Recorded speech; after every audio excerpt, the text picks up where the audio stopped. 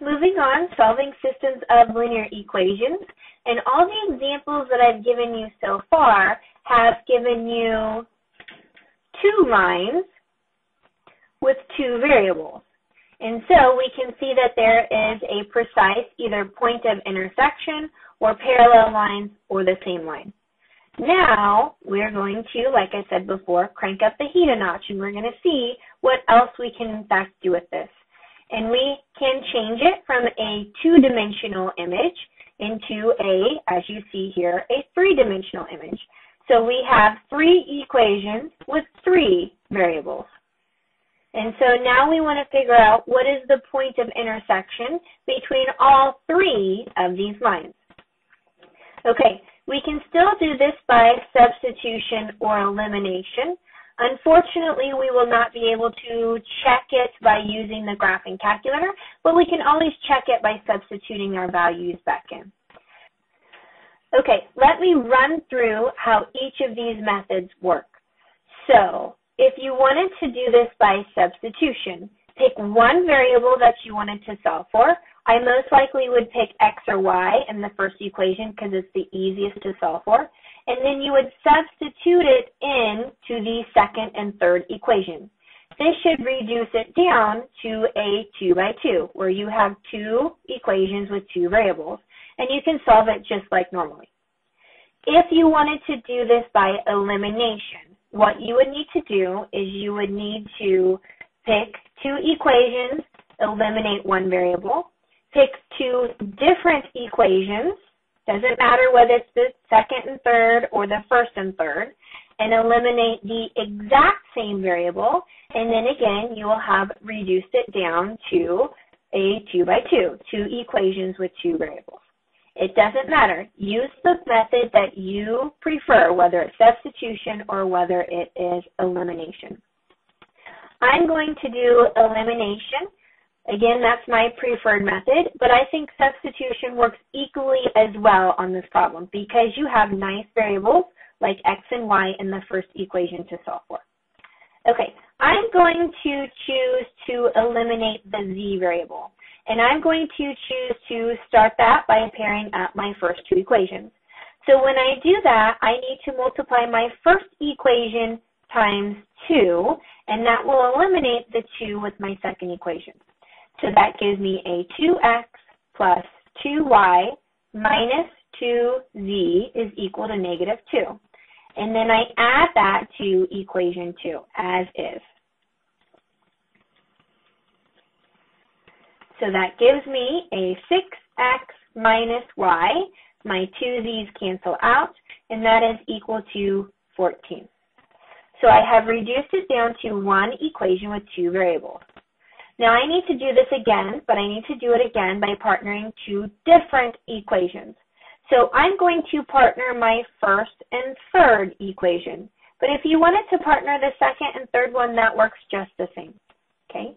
Now to eliminate the z variable, I'm going to multiply equation 1 times 3, times a negative 3 in fact, because they're the same signs and I need to make sure that they have opposite signs.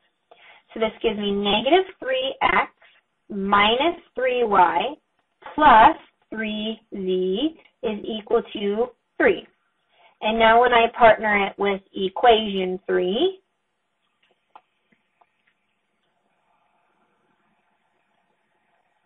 you can see that my z's are exactly the same number but opposite signs, so those cancel out. So I have a negative x minus 5y is equal to 8. And if you look at these here, you see that you've reduced it down to examples that we have just been doing. So we have two equations with two unknowns. 6x minus y equals 14, and negative x minus 5y equals 8. And now you basically get to reset yourself. So now you're trying to solve this system of equations, and again, you can do it by substitution or elimination. Do the method that you prefer. I prefer the elimination method, so that's what I'm going to continue with. But if you prefer the substitution method, please continue to do so. Okay, I'm going to choose to eliminate the x's for no good reason, maybe because they're opposite signs of each other. And I'm going to do that by multiplying my second equation by 6. So that gives me a negative 6x minus 30y is equal to 48. And if I partner that up with my first equation, and I add those two guys together, my x's cancel out, and I get negative 31y is equal to 62. When I solve for this by dividing by negative 31, I get that y is equal to negative 2. So I have one of my three answers. I have three answers here, an x variable, a y variable, and a z variable. So I found my y variable. Now, your instinct might be to plug it back into one of the original equations, but in fact, that doesn't do us any good because that has three variables in it. So what we need to do is we need to plug it back into one of the equations with two variables in it, either this one or this one. Doesn't matter, whichever one looks the easiest to you. I'm going to plug it back into this one. So that gives me a 6x minus, where my y is a negative 2, is equal to 14. So this is positive 2 if I were to subtract 2 from both sides. That gives me 6x is equal to 12. Divide by 6, and so that gives me x is equal to 2. So that gives me a second variable. Now I can take both of these and plug them back into the original equations to figure out the third variable. So let me do that over here, kind of all over the board here. This gives me, I'm going to plug it back into the first one. That one looks the easiest.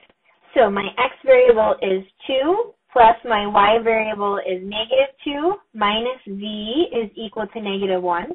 I see that my 2 and negative 2 actually cancel out. So when I go to solve for this negative z, I just divide by a negative 1.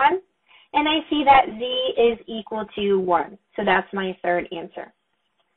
Now, just like before when we were trying to come up with answers and we had ordered pairs, because that was their point of intersection, the final answer here is what's called an ordered triple, because I have x, y, z.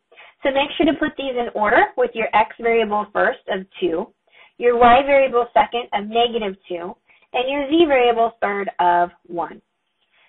Now, I cannot graph this by the graphing calculator because it doesn't use three dimensions. But you can always check these, the same with the 2 by 2 by substituting those back into each and every equation to make sure that they are, in fact, true equations.